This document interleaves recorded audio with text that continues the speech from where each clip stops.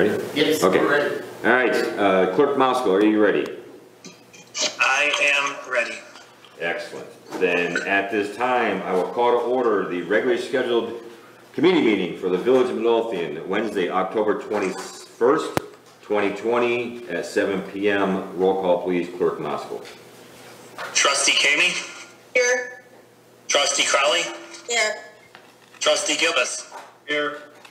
Trustee Ivan, Here. Trustee Gillily. Trustee Kreis, Here. Mayor Brew. Here, You have a quorum. please stand for the Pledge of Allegiance. I pledge allegiance to the flag of the United States of America and to the republic for which it stands, one nation, under God, indivisible, with liberty and justice for all. Uh, At this time, I declare that an in-person meeting is not practical or prudent because of the coronavirus pandemic. And Mayor, I have verified that we have a quorum, uh, confirmed by audio or visual confirmation. Thank you, sir. Uh, Deputy Clerk Palacky, was there any comment from the public? No, there was none. Thank you. Uh, And if it pleases the board, uh, we have a guest here tonight, Aldo, uh, from uh, Horton, right? From Horton, right?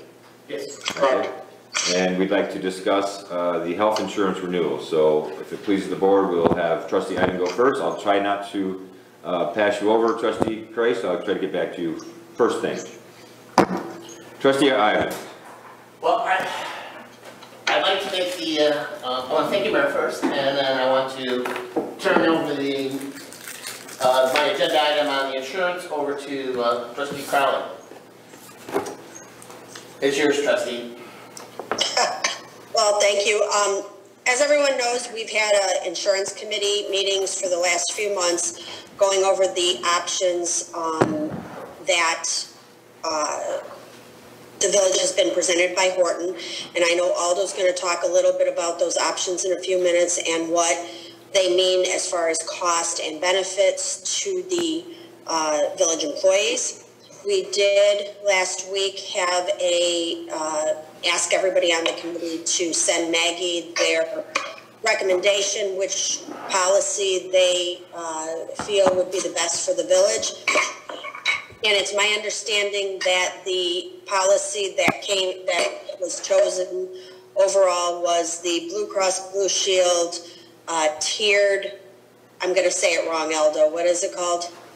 Blue choice options? Thank you.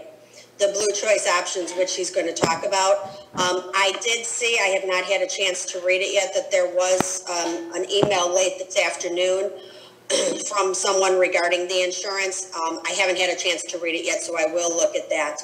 Um, but as of yesterday, the vote was for, uh, keeping Blue Cross Blue Shield, not going to United Healthcare, and going with the Blue Choice tiered program, which has uh, savings for the village, the employees, and additional benefits. So with all that said, Aldo, I will turn it over to you. Thank you, Mayor, trustees, good evening. Um, Thanks for your time and attention this evening.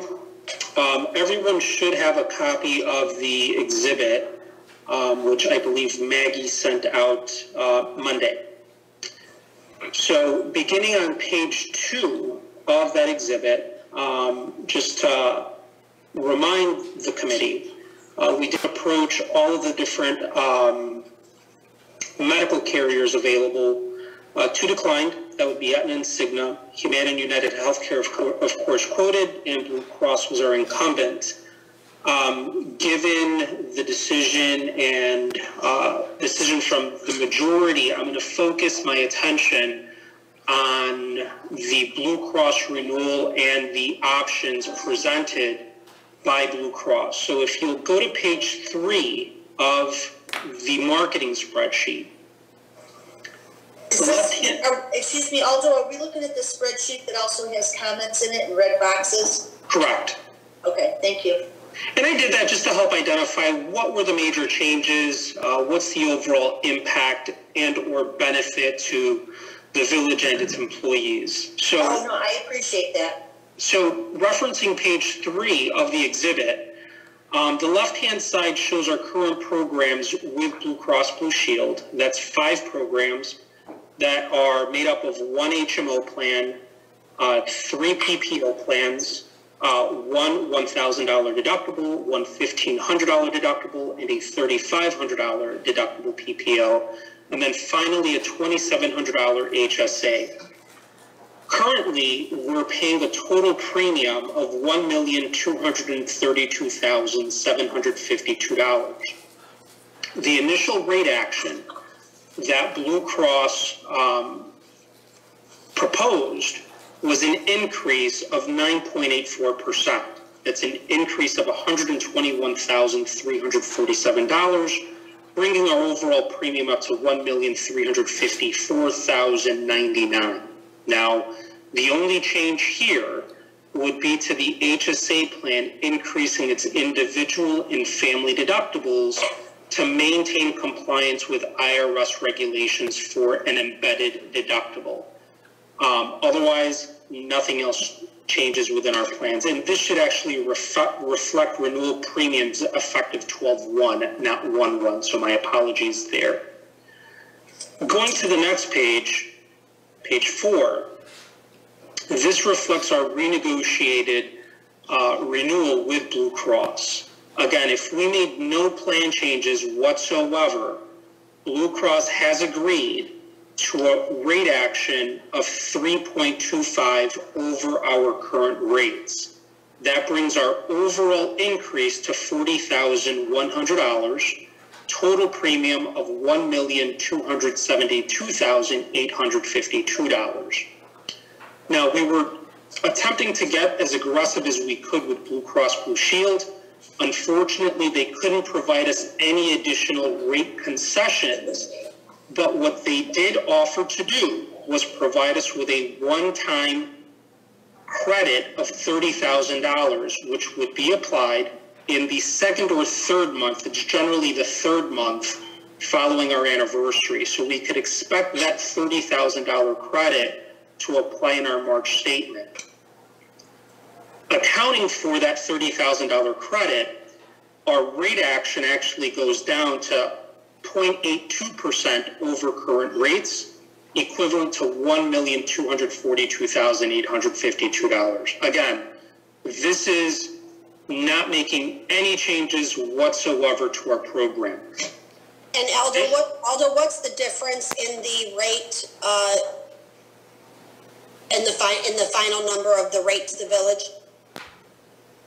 Um, so the overall premium would be 3.25 if, if I'm hearing you correctly. Is that, is that what you're looking for? The dollar amount after the thirty thousand dollar credit? Uh, $1,242,852. And that's a difference between what we're currently paying of, sorry, I don't have it written down here. Oh, yeah, let, we didn't factor that out. Let me get that for you. Just so the board knows with that, I mean, I, I mean, everybody can add and subtract, but just so it's clear Yeah, absolutely. what, what, what the difference is. It'll take me one second here.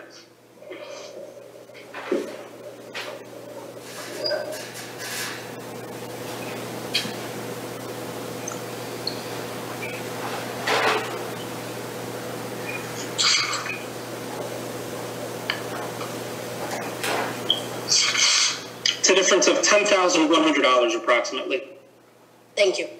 over current. Any other questions so far? Great. Going to page five, or the following page. This is where we proposed a minor change to the program. The change would reflect eliminating the $1,500 PPO that we currently have in place and replacing it with a two-tiered PPO plan. This two-tiered plan has two distinct levels of in-network benefits based on the providers that I'm using. So tier one would utilize Blue Choice Options providers. If I stay within this tier, I still have the same $1,500 individual deductible and the same $4,500 family deductible. You'll note, however, that there are some improvements to this tier. My coinsurance would go from 80% up to 90%, which ultimately reduces an employee's out-of-pocket exposure by 10%. My individual out-of-pocket maximum remains the same at 3000 per individual and $9,000 for a family. So to refresh everyone's memory, if I go into a hospital type setting, I'm still responsible for my deductible. Once I've satisfied that deductible, I'm responsible for 10%, 10% of all remaining charges, up to a maximum of $3,000 on an individual basis. So this $3,000 individual out-of-pocket maximum is inclusive, it's my worst case scenario, it's inclusive of deductibles, copays, and coinsurance. Now, there are some differences that aren't positive. Going down the line, you'll see that the emergency room copay does increase to $400 from $150. However, it's $400 then 10% coinsurance to the member. Currently, it's $150 copay per occurrence, then 80% after your deductible. So your deductible is applicable under the current program. I'm sorry, $1,500. Um,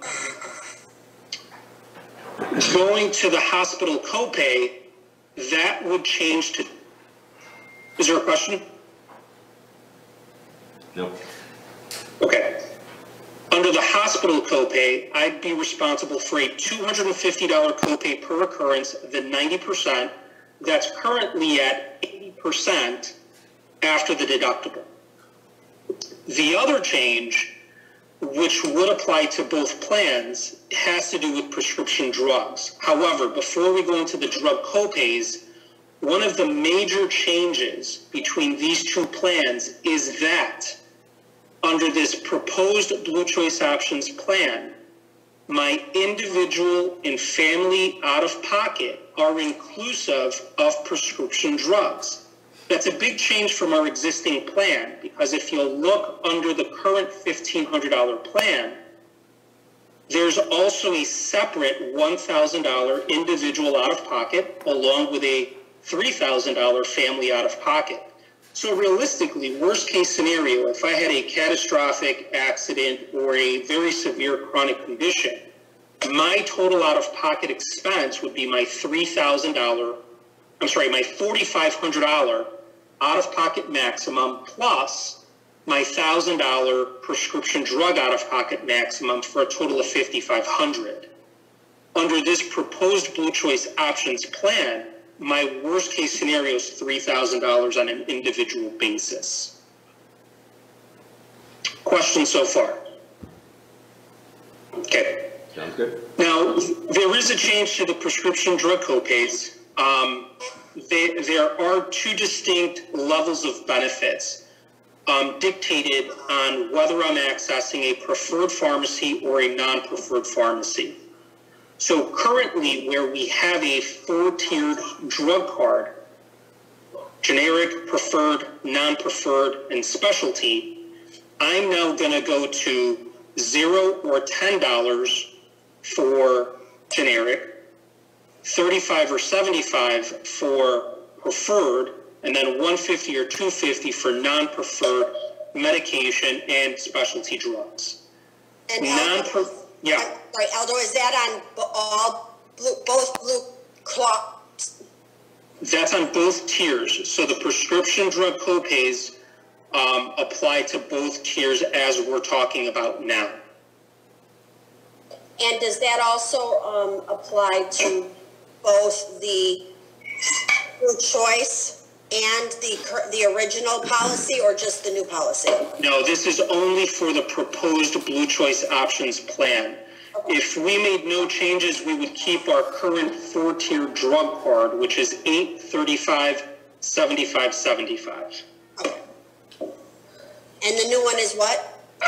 Um, it's either 0, 10, 35, 75, 150, or 250 if we go to a preferred pharmacy, or it's 10, 20, 5595, 150, 250 for a non-preferred pharmacy. So you'll see that the, the, the big changes really have to do with generic and brand name medications. Specialty and non-preferred brand name drugs really still have the same copays on the back end.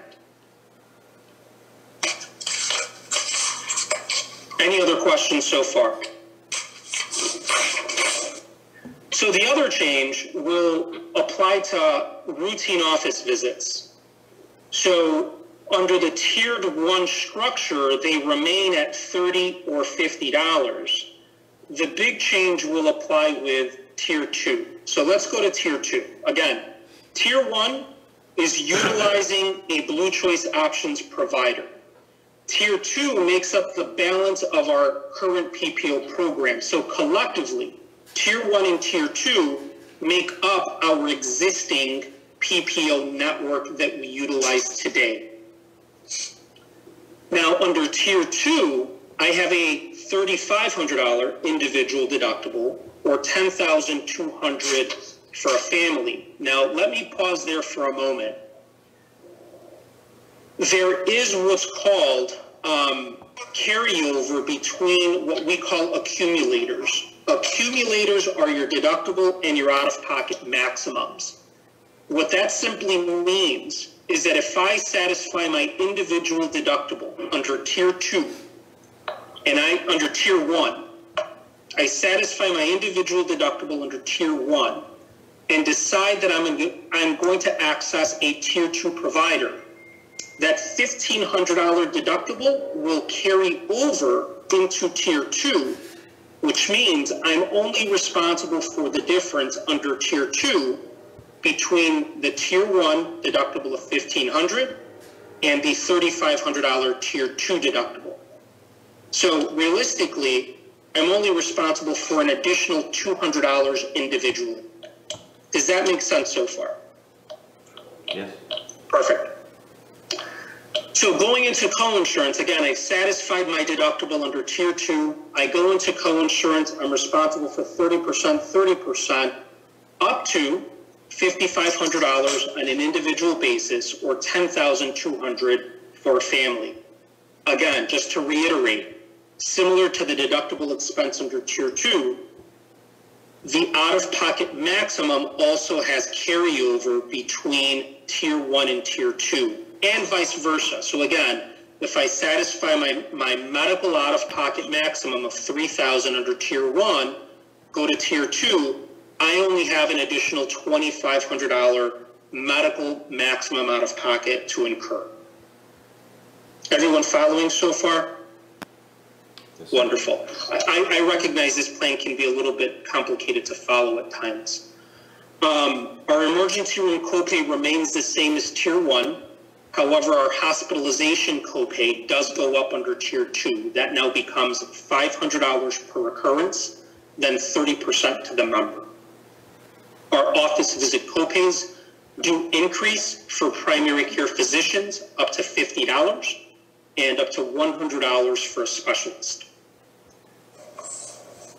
Telehealth services remains at $30 for um, that telehealth copay.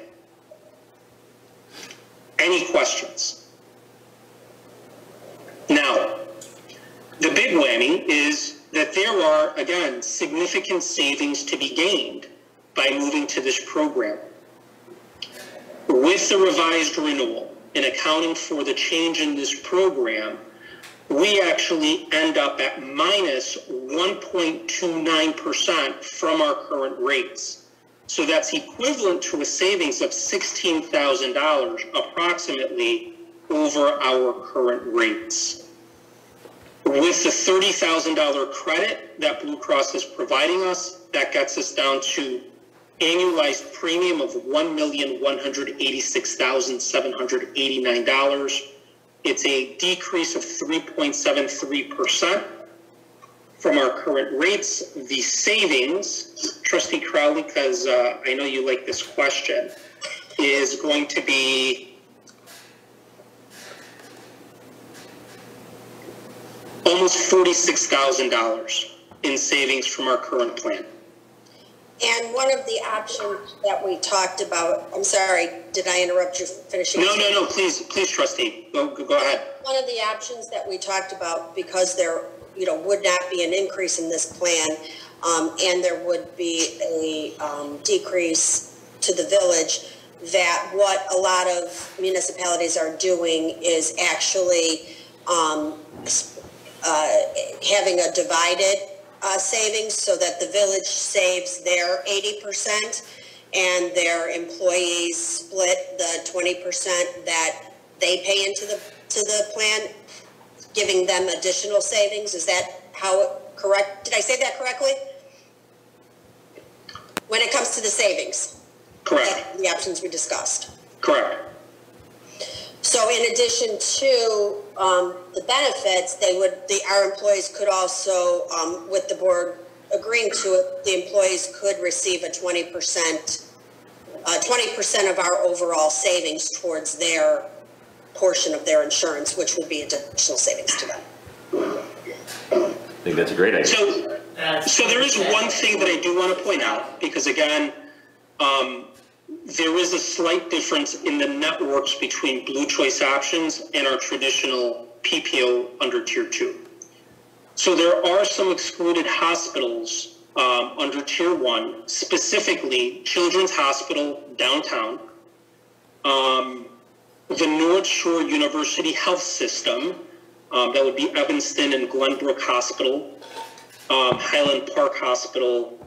The big one that we feel may potentially um, cause some disruption is Ingalls, which is also excluded from Tier 1, but is still part of Tier 2 under the traditional PPO program.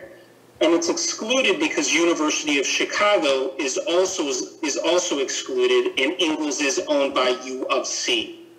Um, so those two are also excluded from tier one, but again, are part of tier two. Um, Can I ask uh, a question?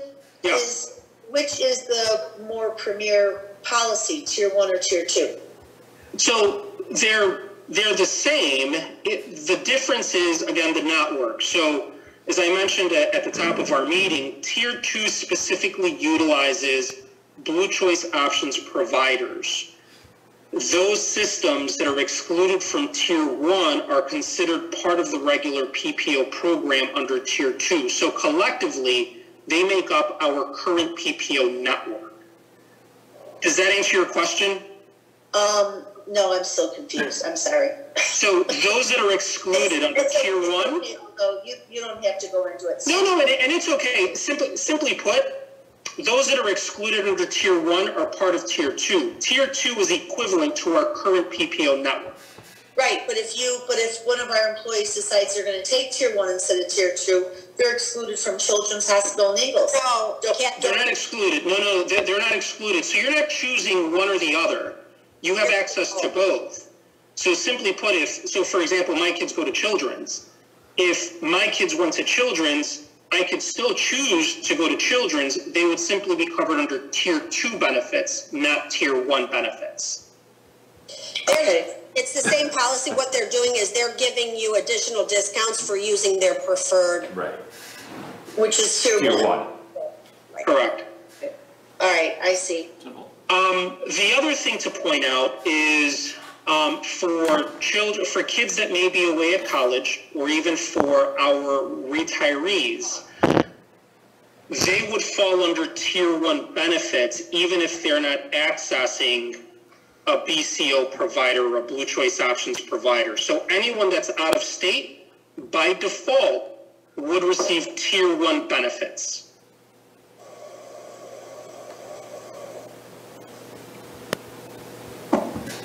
Excellent. Any other questions? That's all I really have at this point. Uh, very, I- I thank you so much for, uh, everything you've done, Aldo. That, that's incredible news. Thank I, you. I do have a question, Aldo. Yes, So the other, the other two PPOs that are on either, that bookend this, they're still available, they would still be available as well? correct. All we're doing is replacing our existing fifteen hundred dollar PPO with this Okay. Blue Choice Options plan. we would still offer five plans, our current HMO, our current $1,000 deductible, our current $3,500 deductible PPO, and our $2,800 HSA. Wow. All right, uh, yes, Can I, can I, can I ask if any of the board wants to, uh, go over United? Of course. Healthcare, why we didn't, no, why we didn't choose them? Aldo already told us. Why did he, I'm what sorry, did he say, I'm uh, sorry? Uh, uh, let me, let the record show that uh, trustee Killy is in attendance, uh, via Zoom. Right. Thank you. So, Okay, thank you. All right, excellent work. So what's the next step? Uh, we gotta put on the, uh, agenda for approval? Well, I, trustee Kelly, I'm glad you're here. Um, so, uh, what I'd like to do is, we did have our last meeting, if, I, I think you'll agree, Don, we had our last meeting, um, last Thursday, I believe it was. Um, Yes. And we had, I think, a number of people respond and make the recommendation of the, this new blue choice, but I do, I think, I was looking over, I was trying to look at some of my emails where we were talking, and, um, I do think there's some questions that a couple more people have for Aldo, so I'd be fine with putting it on the agenda for a vote next week. Um, if Aldo, you could answer those last few questions, make sure there's no more, and then reply, Maggie could send it to the, the replies and the questions to the whole board. it would be my pleasure. Are you okay with that, Don? Yes, Outstanding. Outstanding work, all of you. I- And I have to say, Aldo, you have been absolutely amazing during this process. Um, I- know we ask a lot with, when it comes to easy spreadsheets and, and cheat sheets, and anybody who's ever dealt with insurance, I'm sure, realizes that's not easy to do, but I really think you nailed it this time. Um, and really got us the simplistic answers to some of these complex questions, so Thank you for the kind, thank you for the kind words. We, uh, Mike, myself, and our team recognize um, how challenging this could be. Um, and our job is to try to simplify this as much as possible. It's been our absolute pleasure working with you and your committee. And uh, we really thank you for um, the opportunity. Can I just get, ask another question? I'm sorry. Um, how much of an appetite do you think there will be for the new, um, the tier one, tier two PPO? And was it, um, and was there an emphasis on, um, the HSA and the benefits to an employee, the whole thing about, um, that, that, that money that they don't spend could kind of, you know, grow into like a mini retirement account. I'm just wondering, um, if there was a push to really ed, ed, are we gonna educate the employees on that? So I can, if, I, I know you have a lot to say about that, Aldo, but if, if I could say one thing about that during our committee and Don chime in. Um, one of the things, Karen, that I do think that the village needs to look at, um, we've talked about the, um, the HSA plan a number of times. Um, and we do only have a few, uh, employees who take advantage of it. Yeah, But-. But unfortunately, it seems, and I'm going to try and say this delicately, that the village does not um, really make it um, appealing for employees to take advantage of this by their portion of what they put into the HSA. And that is something that we have talked about at the committee meetings on what we could do differently to increase that. But I really think that's going to fall on us to make it a more of an appealing insurance to be able to, um, to, to, to show that the employees that it would be more beneficial. Aldo? Thanks. So part of our communication strategy at open enrollment will include um, really educating all of our employees of all the different plans and the distinctions between each plan. Um, to, to Trustee Crowley's point, um, I think in order to have successful enrollment under the $2,800 high deductible health plan that's HSA compliant, I think the big motivating factor in steering employees in that direction is for them to receive some type of contribution towards their HSA accounts. As you know, as you may know, HSAs are individually owned accounts to employees, and we generally see an increase in enrollment in those types of plans when there is some type of employer contribution. Um, but again, we, we will work with Maggie in putting together an effective communication strategy so that employees can continue to understand the differences between all the plans, but especially since we're implementing, potentially implementing this Blue Choice Options PPO, which, as, as we know, can be a little confusing.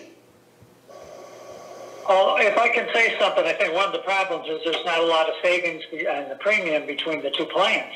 So I don't know where the money is going to come in for the, uh, the village does kick in money now, but there's, you know, only, it looks like only a 10% roughly difference, or am I looking at, no, maybe, yeah, about a 10% difference, is it, or if I can't read right, I think I can read. Uh, so there's not that much money in savings for the uh, village to kick in. And right now, if you looked at it for an individually, individual, they would save like $50 a month and with a $2,500 deductible. That might be perceived as a good deal because we would kick in some money up front, but it, it's kind of hard to, for the village to give uh, to uh, give more money as an incentive in that uh, type of scenario. Understood. Um, absolutely, and, and we understand the challenges with uh, the current contribution schedules and the distinction between uh, the premiums across each plan and each tier. Um, that definitely plays a role in creating steerage into the high deductible health plan.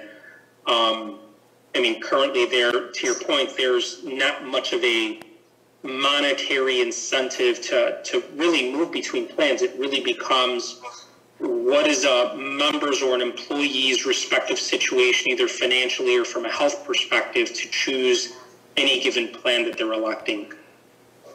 Thank you, sir. Any other comments? Um, I- I'll just say One for me. that the, um, the committee was made up of representatives from every department, um, the department head or his, de- his or her designee, and, uh, uh, any other member who wanted to be a part were included in the discussions and were allowed to participate. So I just wanted to make the board aware of that. All right. Well, thank you so much. And we got some great questions. Thank you so much, Aldo, and, and the committee. Um, and, uh, thank you for spending part of your evening with us. We appreciate it. Thank you. Thank you all. Thank you, Aldo. Take care. Bye-bye. So Deputy Clerk Kalaki, uh, that will be on the agenda for approval next week. Yes, I'll make sure it is. All right, anything else, trustee Ivan? Uh, just a few little things.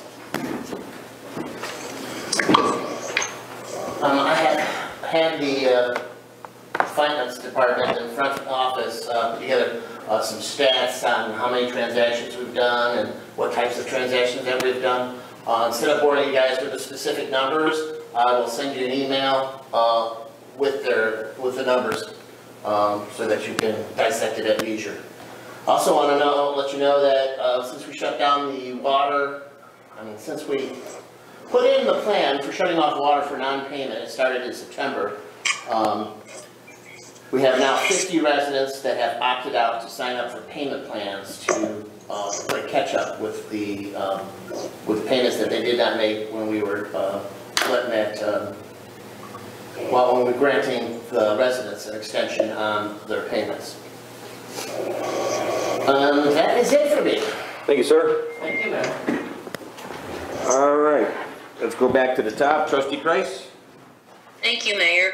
Um, the, uh, the item that I have on the agenda is the review in the approval of the intergovernmental agreement with Phase Two Engineering through the Illinois Transportation Enhancement Program for the Natalie Creek Trail. And I would like to make a motion to approve the intergovernmental agreement.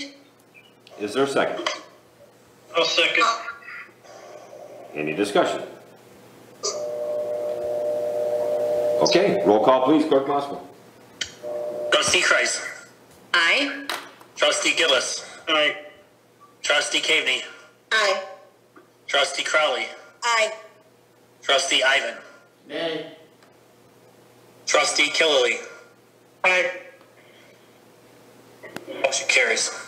Okay, um, thank you all, and Mayor, I am working on filling out, I, I was on a, a lengthy webinar today for ITEP. Um, it has to be submitted by November second, and you have to submit it electronically, and you have to mail a hard copy with original signatures to the Springfield IDOT office. So I'm working on getting the forms filled out that require your signature, so we can get the original signatures um, in time. And also, we are going to need, I found out today, a resolution with the intergovernmental agreement. So could I ask for the clerk's office assistance in putting together a resolution to go with the IGA and have it on the agenda next week, and I can get you wording for that, Yes, if you can get us wording, we'll get that together, trustee. okay? So thank you all. All right, uh, just to let you know, I did speak with uh, Representative Will Davis to encourage him to sign a letter of support for this, so, and it appears that he is. Did you get one? He is, yes, all of, all of the letters of support are being worked on right now. Oh, and Mayor, I need one from you as well. Uh-oh. Yeah, oh, sorry. I have, I have a very large to-do list on this grant. All And right. right now, my focus is on the phase two engineering, and I'm hoping to get time to work on the construction portion grant, but I don't know if I'll have time to pull that together. Can you send me a? I uh, can get you, a give me a little bit of time, and I can get you some wording, okay? Or just, uh, one of the other letters of support to, uh, try to be on the same page with all the other support letters. Yeah, yeah, I, I'll get you some language, okay? Thank you. And that's all I have. Trustee Gillis, thank you, ma'am. Trustee Gillis. I have nothing. Thank you, sir. Trustee Caveney. Thank you, Mayor. I have this evening for our review, the, uh, new zoning map. As you're aware, the village is required to update its zoning map every year, sometime in March or April, but due to COVID and with things being slowed down, um, we were not able to do it then because we were supposed to have a couple of, uh, zoning change, zoning board of appeal meetings to update some zoning, and those weren't held until, um, later on in the summer, so this is the new map. That's a nice map, Mayor. I do, I do have a question though. Um, if you look on the map, um, I don't know if I can blow mine, if I can make mine bigger on my computer screen. If you look, um, on the map around at 147th Street, actually, um, I'm looking at, I'm at 147th Street over, uh, by Kilbourn, between Kilbourn and Kostner. You can see, um, the Moran Building and the Meineke Muffler Shop are in pink. And behind, just north of those buildings, you can see a bunch of green space. I believe that green space is the new, um, MWRD retention pond. That is correct. But it looks like there's still half of a street going through it. The whole Uh, thing should be green, and it's not. we will have to look in to see if that is part of Kenneth that we'll have to vacate, yes. How did that not get caught when MWD was doing the land acquisition? I have no idea. Karen? You know, they, they picked up a number through the land bank, they picked up a number of those pins, and then I think they had to go to court to pick up a couple because there was a, or to pick up one, there was a structure on one. Right. Yes. It was, uh, you know what, the structure was, uh, it was like a shed The the Yeah. garage, the storage garage. Right. or garage, yeah. So I'm just wondering, But if you, if you look really close, it looks like half of, it looks like half of, uh, there's a small sliver of 146th Street that's still there.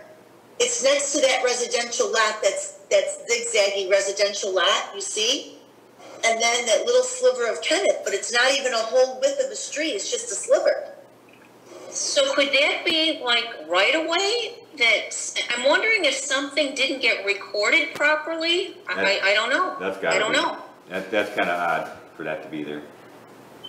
Quite frankly, I'm totally shocked that I even noticed that. Me too. Me too. Totally shocked. I'm not. I'll ask, uh, I'll ask Superintendent Weiner about that. All right, Yeah. anything I else? forgot to ask him about it the other day when he sent it to me, but I, I- so I just wanted to bring that up, that we, you know, before, before I put this on the agenda next week for approval, we need to look into this, because I thought that that was all land that the MWRD amassed for the project, so. Okay, And if they're still waiting on something, if we need to wait because of some legal, whatever, that can wait till next year, but I just wanted to make sure that I brought this up. Well, they wouldn't, MWRD wouldn't have moved forward with the project until they had all the property. they couldn't have without all the pins. Right. Right. Okay, so again, I don't know, like you said, I don't know if something got recorded wrong, or if a legal description is wrong, or what happened. Or if those are, like you said, Mayor, if those are parts of right-of-ways of streets that have to be vacated? Or an alley, looks more like an alley, but Yeah. I'll, I'll find out before next Okay. week. I got it on my to-do list. Okay, very good. Also, um, just so you're aware, I'm, I- I'm gonna have to rattle a cage over at MWRD. I reached out to, um, I wasn't sure if, uh, who were the two original engineers, Karen? Um, Cedric, Cedric Cedric and, Joe Praxer. so I reached, I reached out to Cedric and Joe and Klaus Dunkelberg. Um, Joe, Joe suggested, I reached out to Joe Sperry first. He responded and he copied Klaus Dunkelberg and the new MWRD engineer. There's a new gentleman who's taken over the project. I don't recall his name. Kasha, Kasha. Yes. Um, there were a couple of residents I talked to that had some questions. So I sent them an email, and I must have sent this email back like in July. I sent them an email, they didn't respond. Two weeks later, I sent them a follow-up. Oh, we're sorry, we'll look at it, we'll get back to you. Two weeks later, three weeks later, I followed up again. Oh, Klaus is on vacation. We'll get back to you. I followed up again. He, he answered something to me, but he didn't even answer my question. It was like he was answering somebody else's question in my email. And I've still not heard back from them. So I'm gonna get in touch with them tomorrow and, um, have to be a little stern. What was the question? I don't even remember now. Oh, I know what it was. On Chris Parker Street on Kolmar. Uh, first of all, the, um, the uh, landscaper who was hired to install the plants, the new plantings along the creek there, and also along, um, the creek, uh, on Allen's Block on, uh, Kilpatrick. The, they left a mess. They leave a mess on Kilpatrick, they left a mess on, um, Kolmar. Like, I mean, like they left a trashy mess. They left a pile of the plastic containers that the plants come in. They left a big heaping pile of trash on the bank of the creek. Plus, there was an issue, and we took pictures and sent pictures in. It looked as though there was already some erosion happening at the foot of Jamie's driveway. So we sent them some questions with regards to that. And they've not gotten back to us. So, and Joe, Joe was included in these emails. So. It's unusual. I, I know it is. I know it is. So I'm, I'm just letting you know that this has occurred. So I'm going to be reaching out to them tomorrow or Friday. So I wonder, it, it sounds like they just need to tell their contractor to, whoever they hired, to clean up what, the Well, sure, sure. I mean, and that's kind of the secondary problem. That wasn't even the main problem. The main problem was some of the new riprap, you know, stuff that's on the bank of the creek was, it looked like there was some, um, uh, some, some of the stuff was washing away. So, you know, that, that's what the, that was the more critical question and no one's gotten back to me yet, so. Let us know what you find out, and let me know if you need my help. I will. I think when I reach out to the, them again, I'm gonna copy you. Thank you. Anything else tonight? Um, oh, one, one quick thing. Um, our rain ready community garden looks lovely. we have fourteen scarecrows installed already, and we have nine that are coming, so hopefully by, you know, Friday, by the end of day Friday, we will have a total of twenty-three scarecrows, which I'm very excited about, considering we, we got a little bit of a late start on this project, because we weren't sure if we were gonna be doing Halloween and trick or treating and all that stuff, so, um, I did get out to the community rather late, so I do want to, um, thank everyone who is participating, the, the rain garden looks very, very nice. Um, I'll be out there again on Friday helping a few people install their scarecrows and I'll get through the, um, the gardens and stuff and pick up the trash and everything. And we've got fifty pumpkins, we'll have fifty brand new spray painted kindness rocks to give away and fifty treat bags. So I hope fifty children show up on Sunday to take all this stuff home with them. And I hope all of our village employees and our board shows up as well. It's very, very nice. Also, Nick had told me, Superintendent Weiner told me that the uh, building department process, they received an unusually high number of permit applications in September, mostly due to the, the storm that we had. I believe he told me they received about 169 permit applications, and usually in September, it's, you know, under 100. So they've been extremely busy with processing applications, so they're working diligently to get through all of that for all of our residents who have storm damage that needs to be repaired. Also, for any of our residents who are listening, I do want to remind everyone that the village has agreed to waive the permit fee for any permit application for work that is necessary due in order to correct storm damage. But you do still need to apply for a permit. Just because we're not charging a fee does not mean you don't need the permit. So please make sure you reach out to the village if you're not sure. Please contact the building department and they will be able to confirm for you. That's all I have right now. Thank you, ma'am. Trustee Killy?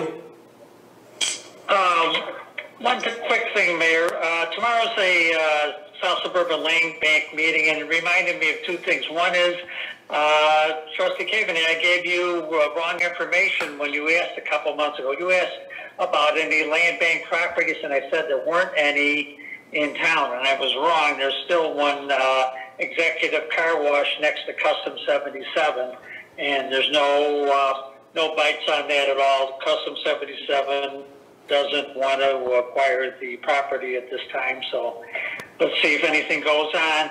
Also, I, I just want, uh, you know, the revenue stream for the land bank for right now definitely is going to be uh, abandoned properties. And we've done very well with abandoned properties for the village. The land bank has sold them and uh, got them back up on the tax rolls. Uh, but it also brings money, of course, into the land bank. So I, I just want to remind remind ourselves that if there's anything that's an abandoned property or property, maybe a rental property that hasn't been doing anything for a long time, then maybe we can try to have the land bank acquire them as a abandoned property and uh, again get them revenue, get the get a new owner, so we get it back on our tax rolls too. And that's all I have. Thank you, sir. Trustee Crowley? Uh, just a couple things tonight, sir. First, um, I just wanted to thank the CPC for, uh, replenishing all of our, we call police signs. I've, a lot of people come in requesting them and they have restocked the shelves, uh, at the police department. So thank you to them. And one last announcement, um, on November 14th, the police department will be holding their first youth academy. Um, they are, right now, have 14 students from Bremen High School's Criminal Justice and Law uh, programs coming in to do a one-day, eight-hour youth academy. So it'll be our first, and we're, and I know they're looking forward to it, and they've put a lot of work and effort into it. So I will keep everybody posted, but we're really excited about it. Me too. Anything else? All I have tonight. Thank you, ma'am. Uh, Attorney Valdez? You're on mute. He's in the other room. Okay, um, first item that we have, uh, under my report is the draft ordinance for the adult use cannabis occupational tax. Uh, this tax is the local share that was authorized by the General Assembly when they enacted the adult use cannabis, uh, law. And so, uh, as you may remember, trustee, uh, and I discussed uh, and reviewed other actions by other municipalities in setting that tax rate. Probably 90% of municipalities set it at the full maximum 3%. A handful have gone lower than that. Uh, We believe that uh, in order to provide an incentive to get a dispensary, uh, which would more than uh, make up for what the loss would be terms of income coming in from uh, retail tax on cannabis, that it would be set at two. Uh, The law says that it may be maximized at three, and it must be in quarter percent intervals. It is the board's pleasure as to what the number will be. Uh, And then the last item that I have is uh, coming up in January, uh, we will, or before the end of this year, we are required to do uh, village-wide sexual harassment training. That is a requirement uh, of the, of Midlothian, and so uh, we will have to address that to make sure that every employee has been trained uh, with regard to the law under sexual harassment, uh, the state of Illinois. That's all I have. Nick, is that, um, is that every year they have to have a training or is that a one-time training? Uh, I believe it is a one-time training, but new employees would have trained at ongoing. And I, I, bel- I think I just, I, I'm pretty sure I, I was just looking at the courses or the, um, classes that our insurance carrier does, and I believe that's one of them that they offer for no charge. And that's what I think the village would have to do. Essentially, what this requirement is, is that we have something to prove that every employee has been trained. So that's what we're looking for, is some entity that can Right. provide a certificate. I- it's on our insurance, it's our provider, on our provider list from our insurance carrier as one of the classes. We, we did that for the village about six years ago, and, and uh, one of the attorneys came in and did uh, the instructions very good, and then, you know, helped, helped a lot, got some questions, and also at the end of the course, they, she gave us a certificate of uh, completion. So I think that's, uh, that's what you're looking for, Attorney Valdez. Yes. If I, if I'm not mistaken, I believe that uh, Treasurer Britton at a staff meeting a month or two ago had given all the department heads or emailed them all a link Correct. to an online course that everyone's supposed to take. And I spoke to Superintendent Weinert the other day and I asked him to please ask the building department employees to have it done by the end of November. So we have six weeks to get proof that that has occurred for every employee. Okay. We'll make it happen. That's it.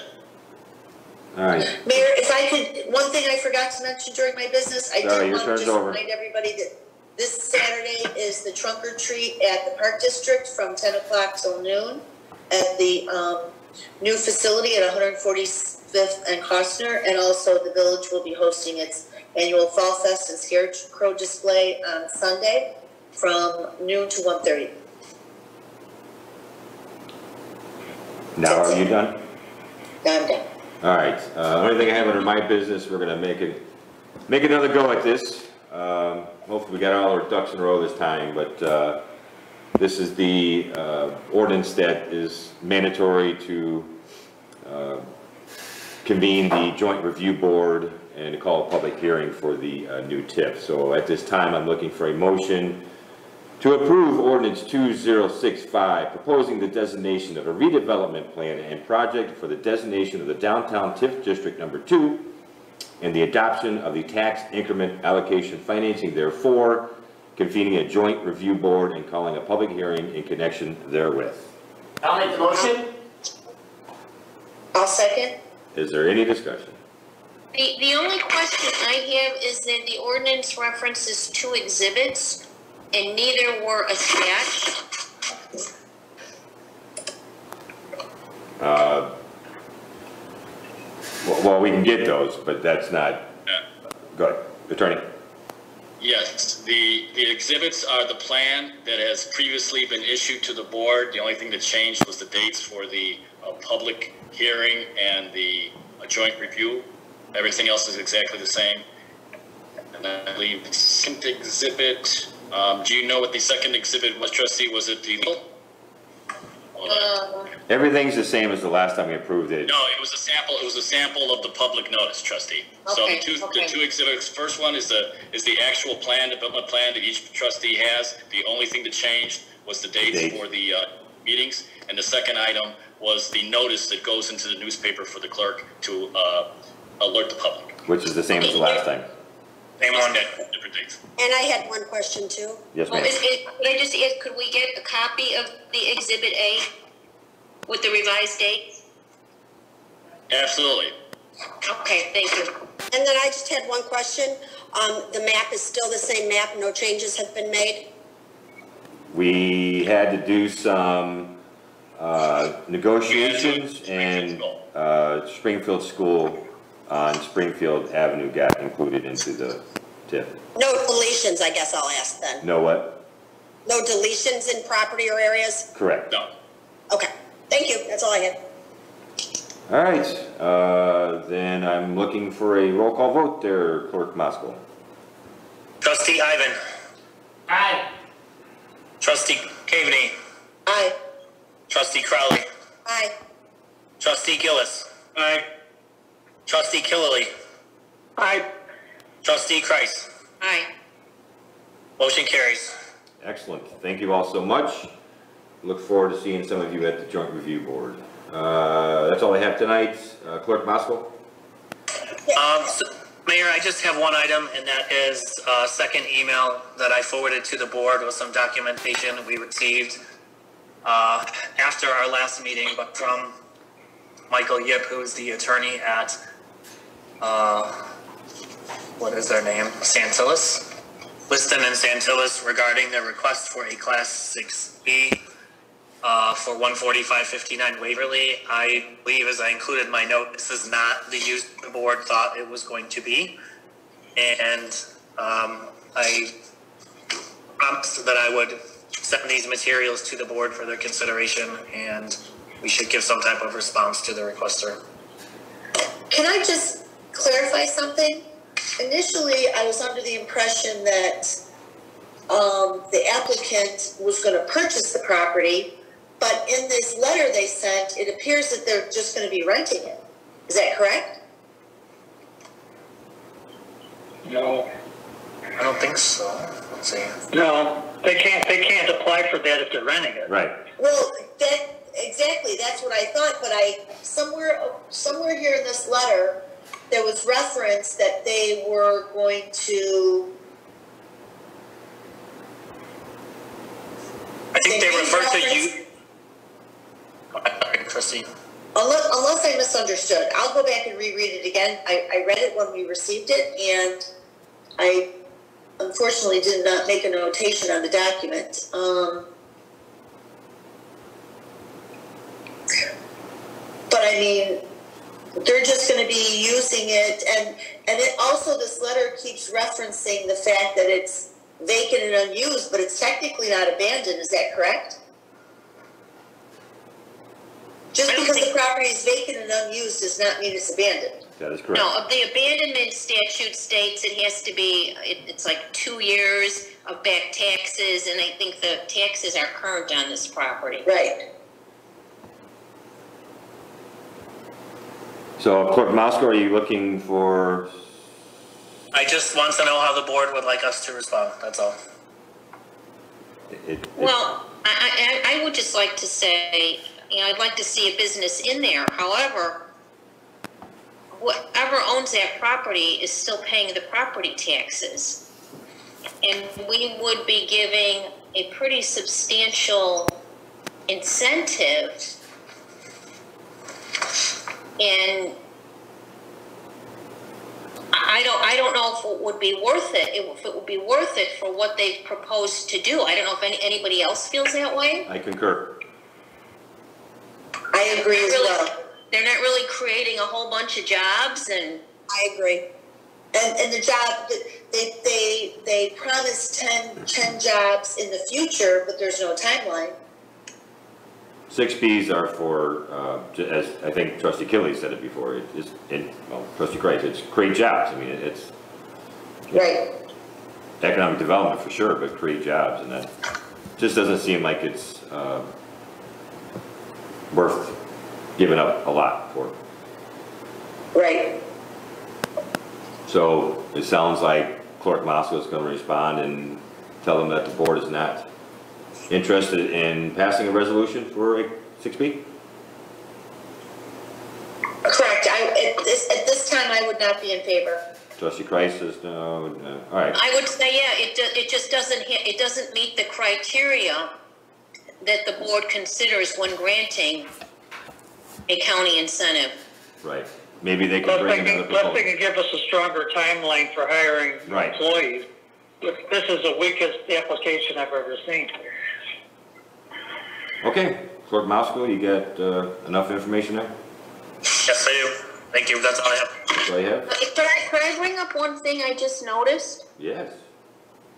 So, and I don't know if this is gonna be a problem, but the joint review board is scheduled to convene on Veterans Day. And I remember, the attorney can probably weigh in on this. Um, it's a, it's a, it's a federal Federal holiday holiday. and Village Hall will be closed. And I remember we would have to reschedule other meetings because Village Hall was closed. If we had a, a, a committee meeting on a federal holiday. So I'm wondering if that is the, if that, if, if, if legally the joint review board can convene on that day. Um, that is for which one, the public hearing or the joint review?